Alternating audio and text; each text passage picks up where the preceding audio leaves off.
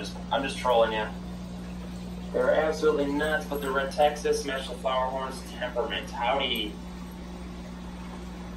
Howdy, y'all. What's going on in here, says Big City Betas? Hey, did you by chance hear that they are shutting down betta fish keepers? You know, casually, just a group of betta fish keepers, 100,000 members strong pretty much, and we're just going to shut it down, Facebook says, with pretty much no apparent reasons. Tim Brander says, Hey Chris, glad to catch you live. Thank you, sir. It's good to see you here as well. Alright, Lacey's Place. Are you able to get on? Well, I need to pull up Facebook on my laptop to get stream on there. Okay. How is your um, microphone? Because if we're not going to be able to hear you, we might as well not do it.